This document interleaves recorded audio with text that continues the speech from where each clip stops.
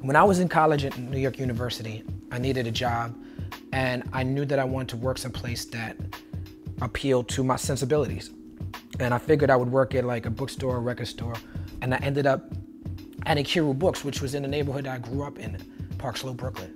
When I got to Nkiru, they were skeptical about hiring me. They hired me and fired me a couple times, not because I did anything wrong, but just because it was just tough to keep someone on staff.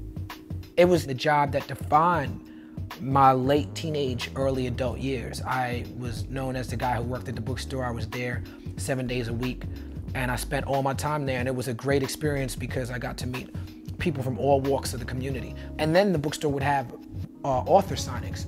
Anybody black who wrote a book in that time, I got to meet them at the store.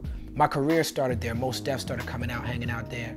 A lot of artists from Dead Prez to Shabaam Sahdeeq and all these artists I started making music with you know, just to see a black owned business that was concerned about the community had a huge impact on me.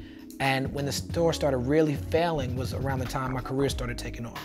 So Mos Def and I uh, parlayed a lot of our money and our first earnings we had into trying to save the bookstore. Uh, we ended up not being able to. And so it would be great to sort of reignite that legacy if I ever get the chance. And that's something that I'm, I'm looking forward to. Hey yo, it's Talib Kweli. Subscribe to THNKR right now. Peace. The new Jim Crow makes the argument that our criminal justice system, especially the war on drugs component of it, has become a new system of racial caste subordination that operates very much like the old system of Jim Crow.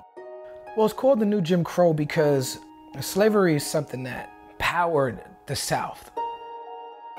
And when that ended, they struggled to quickly find ways to maintain that system, but do it in a legal way. And the Jim Crow system was the best thing they came up with. It was a way to get people to still be indentured servants.